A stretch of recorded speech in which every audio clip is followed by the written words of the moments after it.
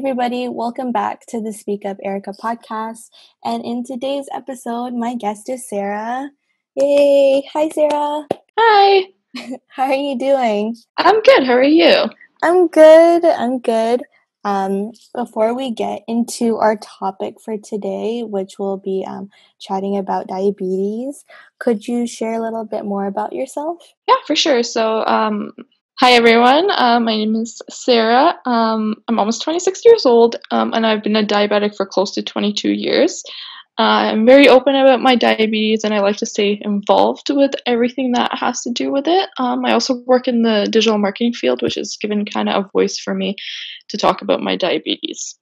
Oh, that's awesome. So, so um, sorry, in your work, you're able to um, um, share like highlights about diabetes as well, or or like inform people there. Yeah. So, um, uh, pre-pandemic i was trying to get my company a little bit involved in in the charity work for the type 1 diabetes community mm-hmm. um, and i i think digital marketing gave me a voice into being able to to talk online about my diabetes not just through my work but um, through the work i've done with jdrf as an intern and a volunteer mm-hmm. oh that's awesome mm-hmm. yeah i remember so sara and i we um we went to school together and we were in a uh, like a what's it called? How do I a, like a club?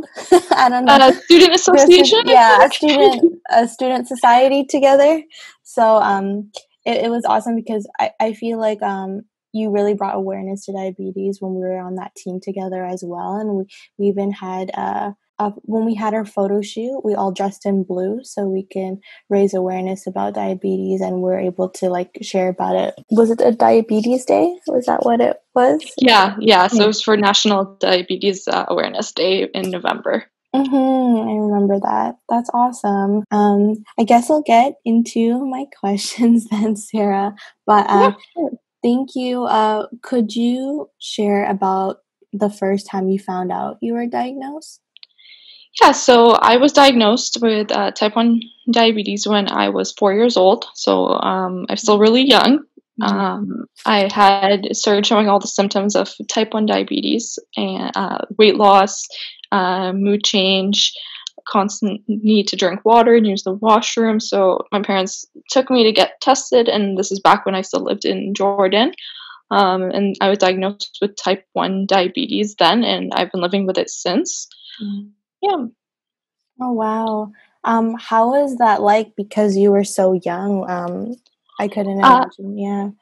So with um, the technology and the diabetes management that was still implemented in Jordan when I was first diagnosed, um, there was a lot of restrictions on what I could eat as a kid, which uh, it was just already hard enough when you're a kid to deal with something as new as type 1 diabetes, but then add in all of these restrictions like no eating sugar, um, you have to watch what you eat, all that stuff um, it just it made it a little bit more difficult to be a kid at times but yeah. at the same time it taught me how to be responsible at a very young age um, over the years the diabetes management has gotten a lot better and i've seen it go from needles and shots to uh, insulin pumps and continuous glucose monitors. So over the years, it's gotten a lot more advanced and easier to actually manage mm-hmm. versus when I first was diagnosed with it.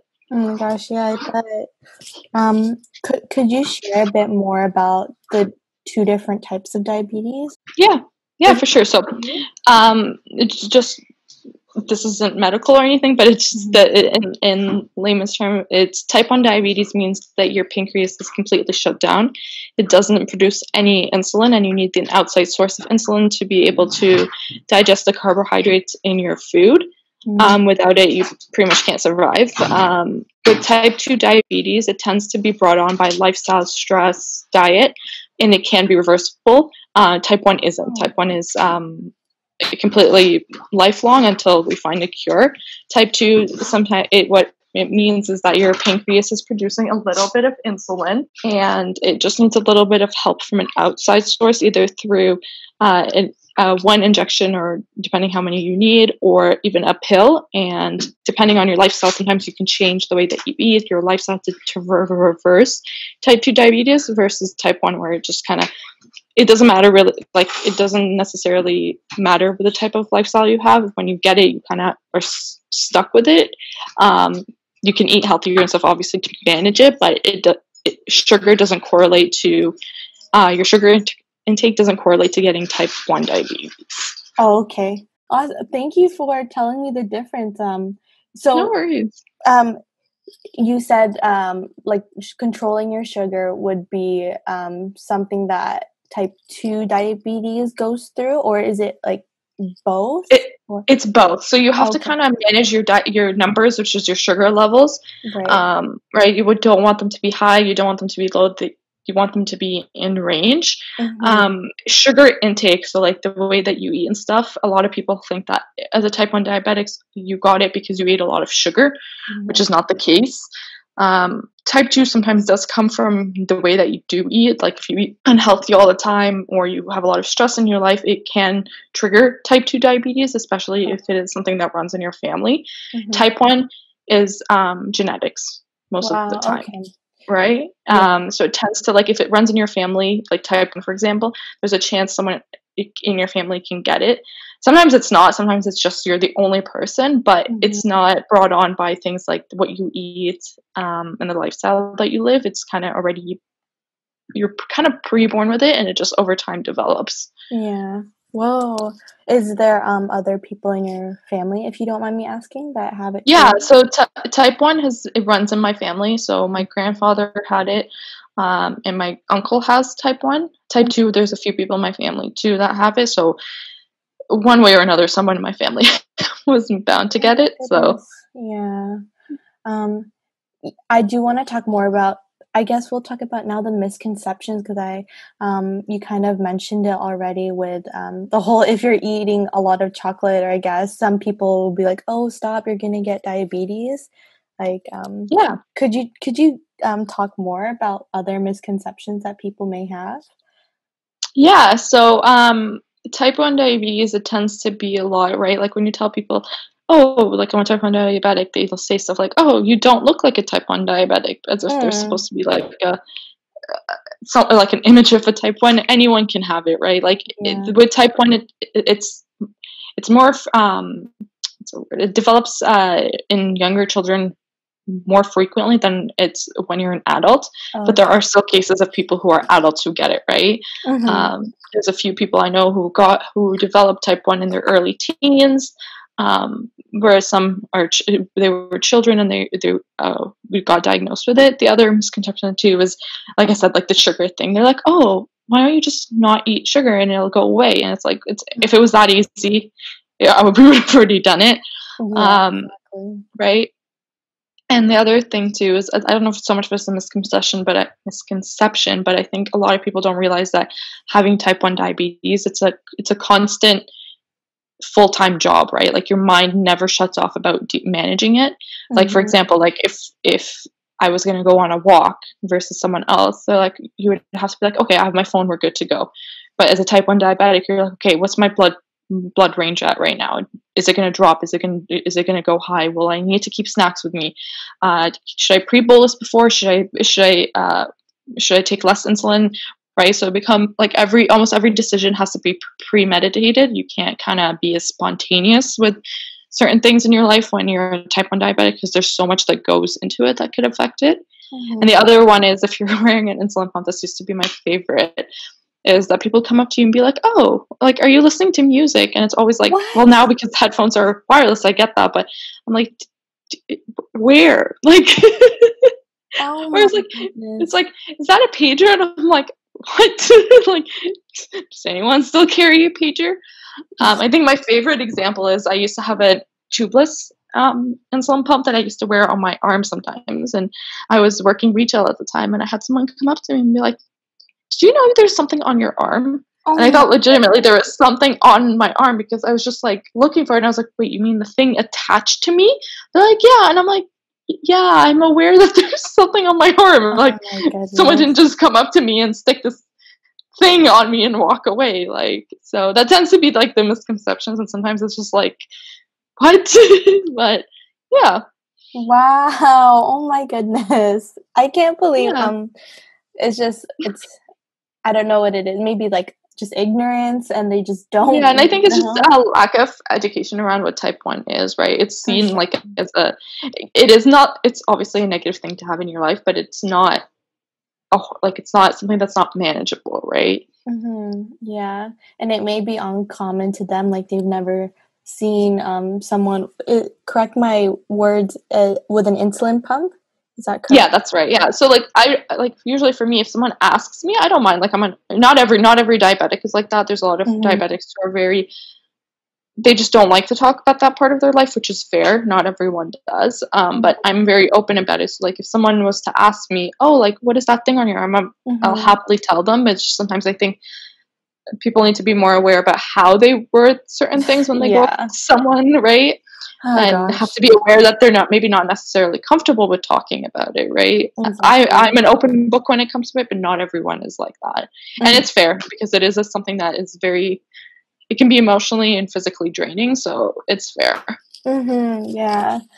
Oh my goodness! Wow. so I just um, with the examples with the pager, it's what the heck because who does carry that um, anymore? Um, it's just like, just like casually, just you know. Oh, gosh. And my p- pump used to be at one point pink, so like yeah. it wasn't like it was like.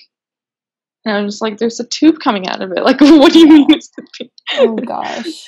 yeah. So, um, is it the the insulin pump? It's connected to you, and that one gives you insulin because your pancreas isn't able to produce it for you, correct? Yeah. Mm-hmm. So there's a few types of different management systems when it comes to to uh, um, giving yourself insulin. Mm-hmm. Some people take insulin shots, so that means like every um, few hours, every time you eat, you have to take a shot of it's insulin, mm-hmm. or you can be on the insulin pump, which I've been on now for almost close to to twelve or thirteen years. Wow. Um, and what it is is I always call it an exter- like it's an external pancreas. So what it does is that it's a t- depending on the type you have.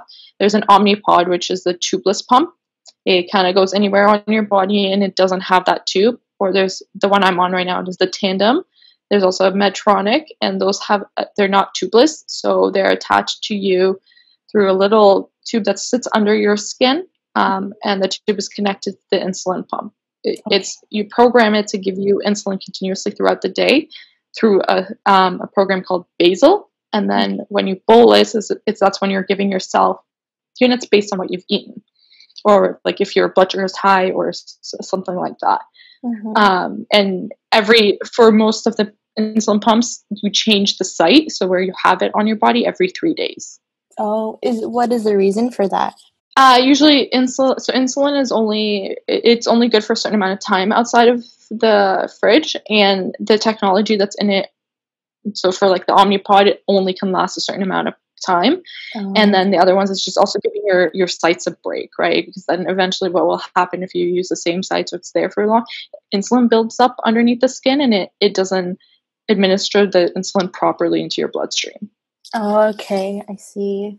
And um mm-hmm. is this um covered with OHIP or is it you have to cut yeah uh, um, oh, so gosh. every five years if you're on if you're on the um assistive device program with Ontario. I'm not sure what's like in other that they'll cover the cost of the full insulin pump, mm-hmm. but the cost associated separately, majority of the time, it's not covered.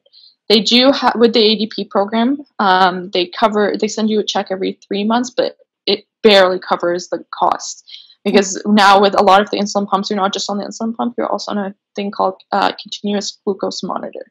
I'm on the Dexcom, and that one monitors your blood sugar so you don't have to prick your fingers all the time to test to see where your blood sugar is. It does it automatically. And the oh. insulin pump that I'm on right now communicates with my continuous glucose monitor. So when my blood sugar starts to drop, it tells the insulin pump, okay, her, her blood sugars are dropping. Yeah. Cut off the insulin until it starts to go back into range. Oh, so wow. Yeah, so they're starting. The technology is getting so much better that it's starting to mimic a real pancreas in the sense that when it's dropping, it stops insulin, and they're working on when it goes high to give more insulin. Mm-hmm. The continuous glucose monitor, depending on your insurance, it it can be covered up to a portion for a certain amount. Mm-hmm. Now, the government used to be a lot more helpful before. There's a lot of changes, um, and it's it's super expensive. Like for me, just for my insulin supplies that for about 45 days is $240 for just the pump site and the the, the things I need to use in the pump. Uh-huh. Then the insulin vial needed w- without insurance is about forty five dollars, and that's lasts me about two weeks. Mhm. Um, and then with my CGM, the sensor, which is lasts for 10 days, is $100 per sensor. And then there's another piece that goes on it. It's the transmitter, and that's three 289, I think, around that. And it's every three months. So overall, it, plus all the costs of like having to buy extra snacks and stuff like that sure. being a diabetic comes with a hefty price tag and that's just in canada right um, and if you don't have insurance you don't have adp like it's coming out of pocket and it's it's ridiculous expensive and and if you get any money from the government a lot of the time insurance companies won't help with the additional cost because they think that you're being covered by the government but they don't take into account that it's like okay so if i'm getting let's say example $600 every three months that covers maybe up like a quarter of what my actual costs are Mhm. um, and it's just a lot of back and forth with the insurance. Like, for example, I was with an insurance company a while back that when I signed up for their insurance plan, I like triple checked that they were covering the continuous glucose monitor exactly. sensors.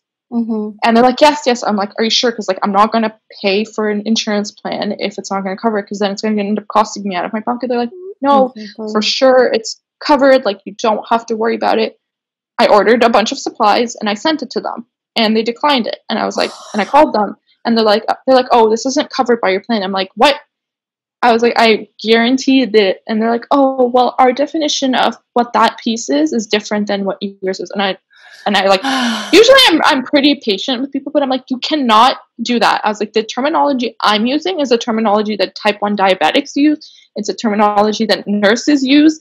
So when they, we call you to check you need to know what that terminology is and you can't have an internal different terminology than what's actually being used because when we're calling to check our plans it doesn't match so they they they honored it that one time but they're like yeah but that's not how we and i was like that's great i was like then you need to consult with real people and with nurses and people who are actually in the industry when you set your policies because then it's not fair because had i bought even more i'd be out even more right Yeah. and the problem right now, like in the States, is a lot of people have to choose because their costs are so much higher than us. Yeah. There's a lot of people where there's been cases where it's like they either have to choose between life or death. That's literally it. If we don't get our insulin, it's either life or death. There's no there's no other option. If we don't get our insulin, we're gonna die.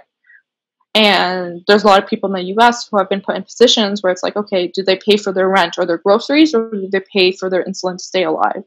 And there's mm-hmm. been a few cases where people have died because their insurance won't co- hasn't been quick enough to cover it that they don't get the insur- their insulin in time, and they've just they've unfortunately passed away because Oh of my because of things like that. So I think there's a lack of education amongst the government and insurance companies to realize that like this isn't a something that we're choosing to be on. It's not something that we have control over. So when we need it, it's not because we're like, oh, I just feel like taking it to insulin today. It's something that we need to be able to survive. And I think I think there's just a whole lot of misconception and misunderstanding, and they don't have the right people in the government when it comes to making policies about this stuff, and they don't have the right information when it comes to all this stuff, which is why like charities like JDRF is a wonderful source for information and funding and research because they work closely with the um, government parties to make sure that there's representatives for, who are diabetics who have lived this life there and present to help them make these decisions and advocate for the people who who who are fighting pretty much to stay alive because of the costs that come with being diabetic. Mhm. Oh my goodness. Thank you, Sara. I feel like I was completely unaware of that and like the costs associated with it.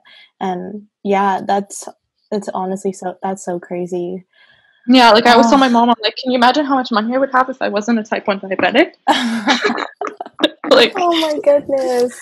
Yeah. like I have a whole section in my budget, like, because I budget everything every month. for sure. That's just like my type, my my diabetes supplies, and it just it takes it it eats away at a lot of a lot of your money. Mhm. But it's not like you have a choice, right? Like it's it's and it and I'm always I'm obviously very thankful and very blessed to be able to have these supplies. Not everyone has access to insurance and the support that I've had, and it just sucks to think that like I wish there were there was more ways to be able to help people. Yeah. With, with that.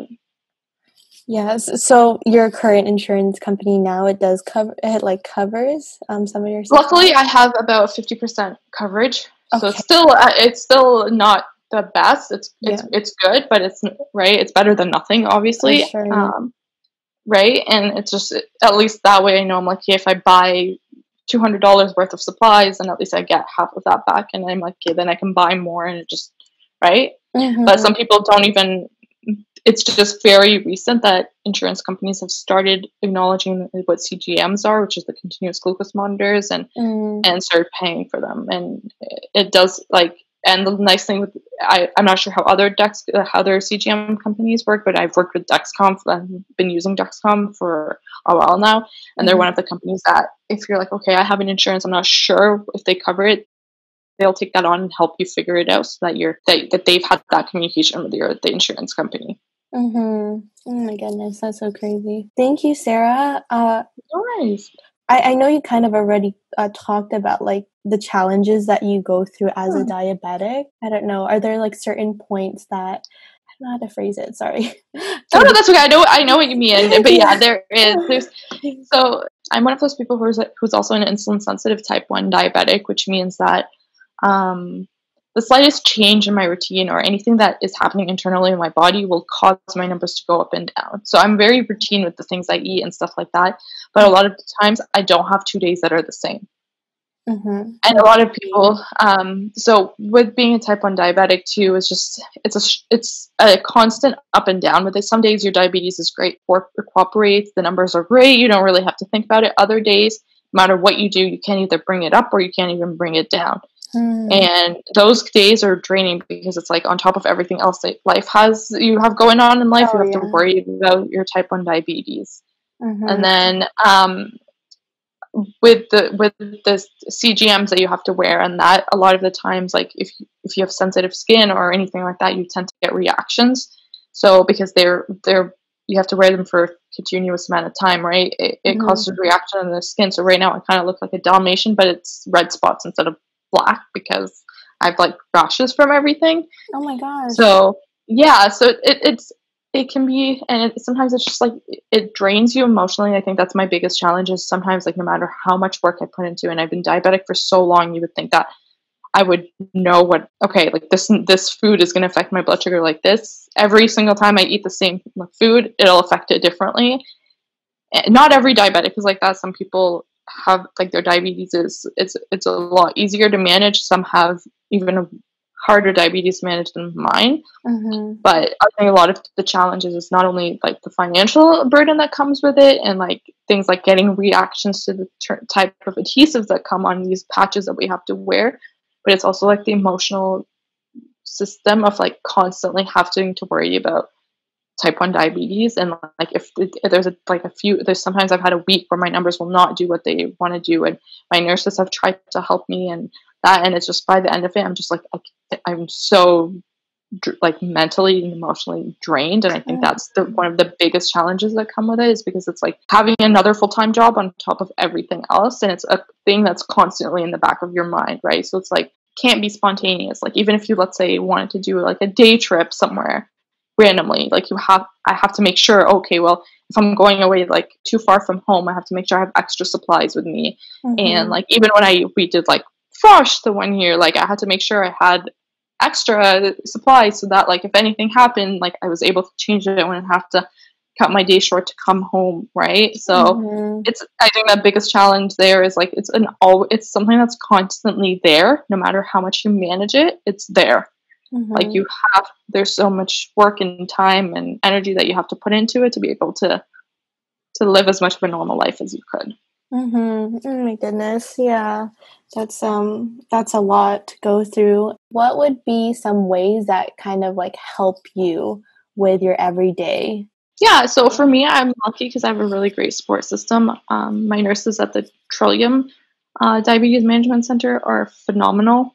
Mm-hmm. Um, they're always real, willing to help me out and and having a great support system i think it makes a huge difference because my mom up until i i was old enough to take care of everything for myself she mm-hmm. was the one who who gave me my insulin, helped me count my carbs, made sure I was on top of everything. Mhm. Um, and to this day, she'll still manage me like, oh, like your blood sugar is low. Did you take something? And I'm like, mom, I know. Like, I'm 26. I, I I can figure out if I need to take a juice box or not.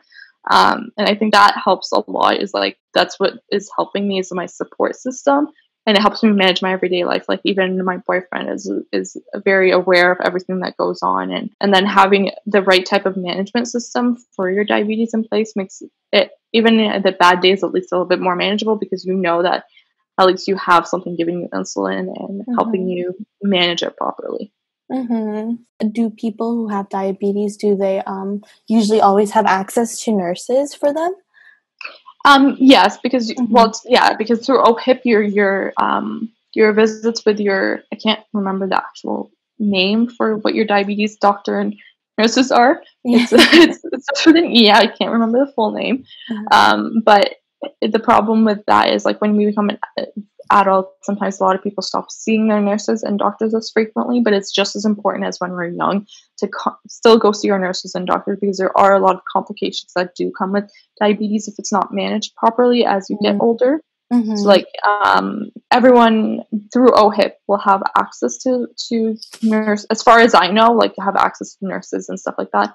Um, and it's just it's it's a two way relationship, right? Like you have to make sure you go to your appointments and all that stuff, and your nurses are most nurses I've met and I've had have been phenomenal and really like right because they get to know you over the years and like I've Mhm. been going to before them. I used to go to the pediatric unit at the Trillium Center, and my nurses there were like a second family to me because I had been going there since I moved to Canada up until I was 18, and then I switched over to the adult center. Mhm. So like these nurses become very involved in your case too, and they care about making sure that you're healthy as much as you do. But again, it's it's as it's they're only they can only help as much as you're willing to let them help you, right? So if you're not going to the doctor's appointments, you're not following up, um, then they can't really be available to you if you're not letting them be available, right? Yeah, makes sense. Yeah. and yeah and like as you get older complications like if you don't take care of it like it's a weird thing but our f- diabetics feet are very important um you can you have to make sure like you never get any cuts on there or anything like that because if you can lose your limbs um you can go blind you can your liver and kidney can shut down if you don't take care of your type 1 diabetes oh my so god. there's a lot of yeah so there's a lot of complications as you get older that could happen if your numbers are not controlled Mhm. which unfortunately is what my grandfather did. Like he just didn't really care, Mhm. um, for lack of better word, about his diabetes, and eventually his organs one by one start to shut down. oh my god! So yeah, so it's it's it's it's a full time job that you have to make sure that you're managing because eventually it will take over and in, not in a good way. Mhm. Yeah. It's not something that can be ignored, right? Like if it's one of it's like someone like you know when a little kid sits there and pokes you and asks you a bunch of questions, eventually they stop. Diabetes is that little kid that will not stop and Um, will only get more and more intrusive. hmm And I guess like as you get older, um, I mean, of obviously there are a lot of complications health wise that just come up when you get old. So that Yeah, it- definitely just ties into yeah, it. and if you're not taking care of your diabetes, you're just adding a l- another layer of risk for other things. But if you are managing it, those risks just become very low. Mhm. um, right? So if you manage your diabetes, you can live as much of a normal life as as possible. Mhm. Um, again, it's all about making sure that you have the like as much of a support system. I know not everyone has access to that the same support system and all and the same type of supplies and to same type of financial assistance, but again, it's it. I, I wish everyone did because that makes a huge difference. Mhm, for sure.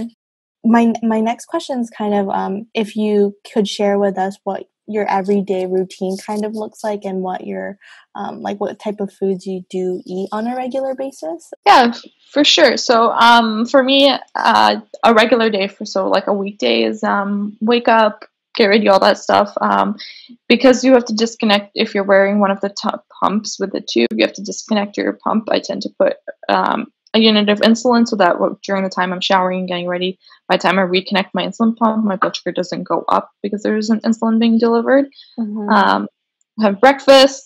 Um, usually I have the same thing. It's like pita with cheese. super easy. And it's um, over the last month or so, I've been testing out different foods to see what foods in the morning cause my blood sugar to go up really high and keep it high all day, and which ones kind of help me keep it controlled. I've landed on pitas with cheese every morning. it helps, helps keep my numbers nice. Um, I'll put insulin for that, and then just kind of go about my day up and, and my insulin. My nice thing with my insulin pump is throughout the day, it's giving me its own insulin on its own. Mm-hmm. I'll have lunch and I'll bolus for that, so I'll take more insulin. And then if I have any snacks throughout the day, again, I'll give myself more insulin. Same with dinner time. And then um, right now, I'm having a little bit of an issue with my numbers being a little higher overnight. So it's just, which would mean that I have to wake up and give myself insulin throughout throughout the night. Um, I'm trying to work on getting it back to normal. Um, and then yeah, that's about it. Um, the foods I've learned to stay away from is anything really sugar, like super sugar. So like if I have pancakes, for example, with syrup, mm-hmm. that just destroys my numbers all day. So I've learned to stay away from things like that. Um, anything with light carbs too tends to help. Um, for me, it, it just it kind of like a hit and miss. Sometimes uh, I've been learning over the years what foods tend to cause my numbers to go up mm-hmm. and which ones don't. And just kind of learning a learning curve with that, and then yeah. So there's the healthier you eat, obviously, the better your numbers are. So I've been trying to implement a little bit more healthy, but that's very hard when it's the holidays. of course, yeah. And, yeah. and this um, definitely varies from each diabetic. Oh, for sure, right? Yeah. Some people like. They have it, it, depends on like your lifestyle and stuff. It depends on the type of food you eat. Yeah. Um, some and with type one diabetes, there's there's a higher risk that you become celiac. So there's a lot of people who are celiac gluten, who have to yeah they have to cut out gluten and stuff like that. Uh, knock on wood, so far I'm not one of those. So because I do love my my very gluteny foods.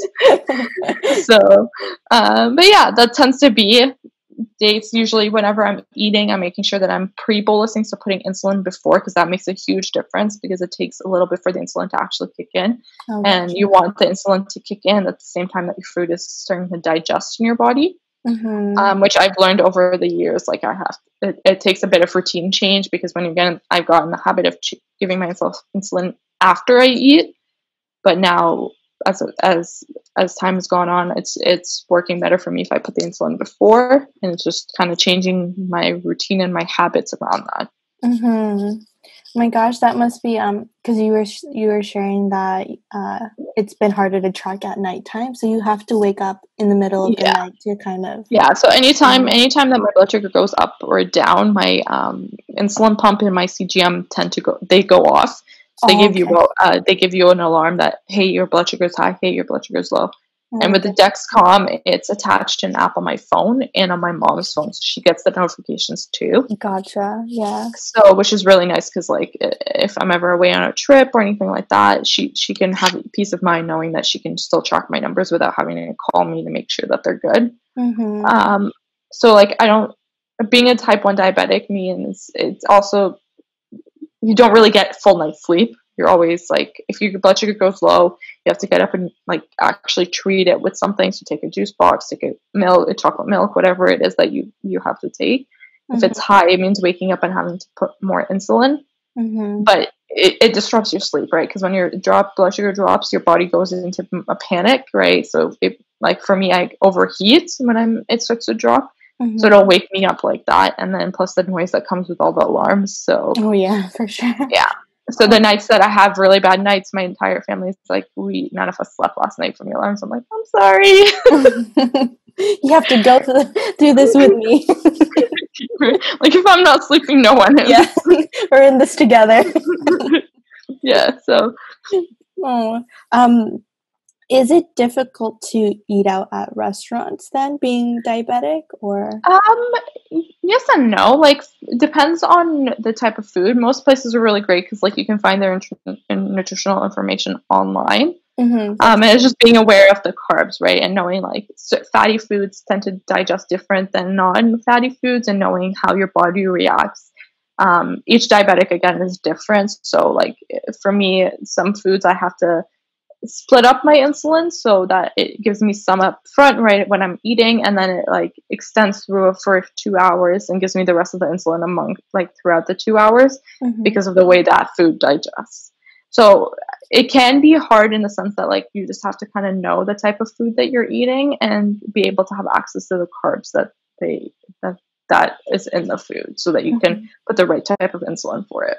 Gotcha. And is there um different types of like vitamins that kind of help with digestion that you would take um like maybe probiotics or something like that um, yes kind of for me like I, am also i have a very sensitive stomach so for mm-hmm. me like um probiotics and stuff like that are very important just having an, a healthy digestive system also helps right because like sure. when you like when your stomach is upset depending on your diabetes too it can trigger your numbers to to go up and down and it ends up causing more stress on the body.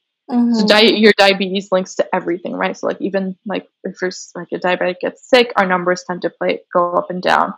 If we're like even when I have a headache, sometimes my numbers will shoot up. Oh my gosh! Uh, right, so like every little thing in your body is connected with your diabetes, and that's mm-hmm. why it's so important to like be on top of it and really understand what your happens in your body with it. Mm-hmm. Well, thank you, Sara. Um, hmm. I have one last question. Um, could you share any tips that um, other people who are going through diabetes um, or are like maybe starting, uh, like ha- sorry, have been currently diagnosed with it? I guess. Um, yeah. Yeah.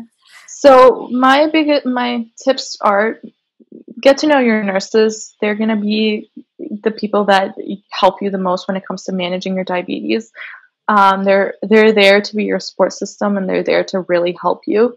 Um, reach out to people in the diabetes community. I know when you're first diagnosed, you're just like, it's almost like, what am I going to do? Like, do I get to live a normal life? And it, it, all of these things become so overwhelming, and it can be really hard when you're first diagnosed with, especially if, when you're younger. You might not exactly understand what it means, but if you're diagnosed a little bit older, like mm-hmm.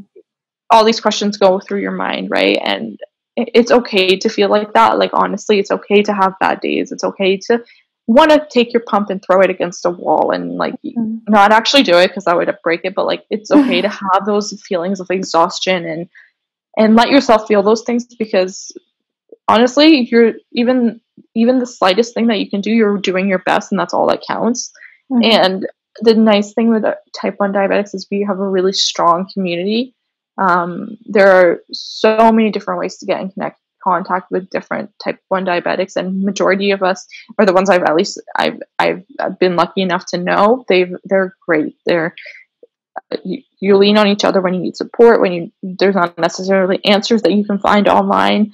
Um, and the nice thing is but as time has been going on by more and more diabetics have started their own businesses there's um, so i'm one of those people luckily. Um, there are different there are different even like purses. So Myabetic is one really great company that um, i've shopped from before. They've created purses and wallets for type 1 diabetics that have specific pouches and insulated spots and all that stuff for your diabetic needs. Wow. there are so many wonderful small companies too that create like fun accessories about your for your diabetic supplies and stickers and things like that to make make it a little bit more fun to have to deal with this thing mm-hmm. but but having your support system whether it's through your nurses or your family your friends um, just know you're not going through that alone and that struggle and the, the exhaustion and everything that comes with being a type 1 diabetic you're feeling it and it's they're valid your feelings are valid and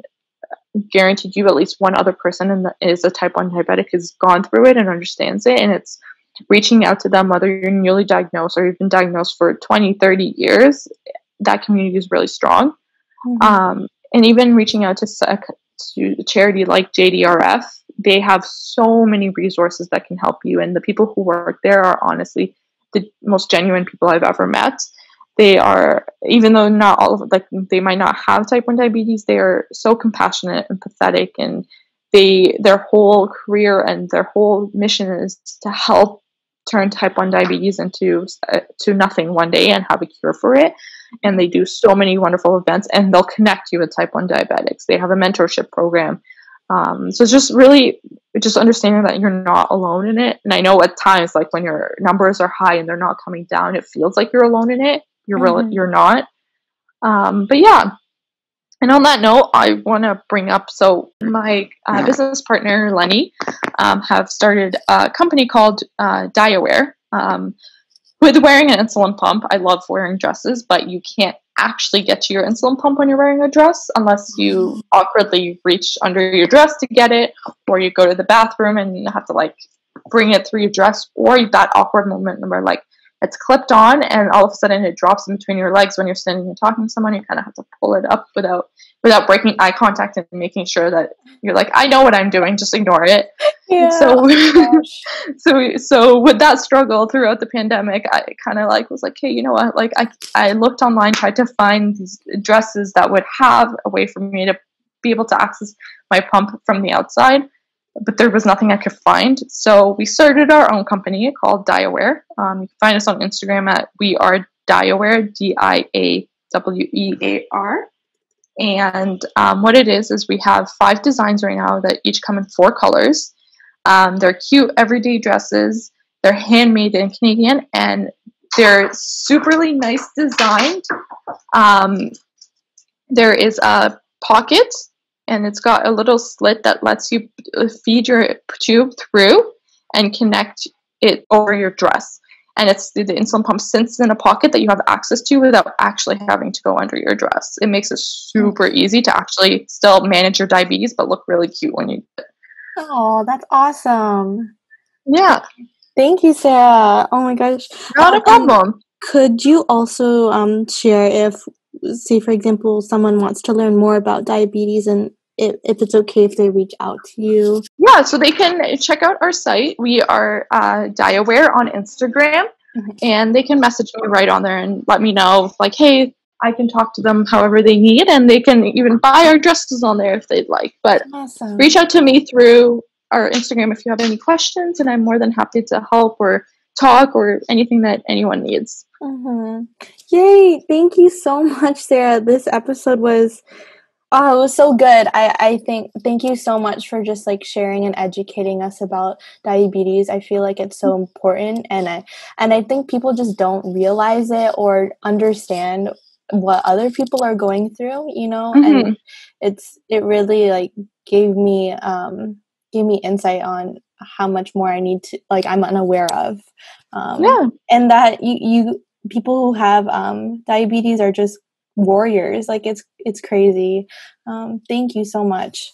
Not a problem and thank you for having me. It was really great to talk about it. And mm-hmm. again like i'm an open book when it comes to my diabetes and especially now with this company that i've started like the DiaWear it gives me a nice way to at least combat a very very small problem that we face as di- anyone who identifies as a woman um, diabetic mm-hmm. faces when we want to look cute like it becomes frustrating but this way you can at least look cute and still manage your diabetes no matter the numbers that you get.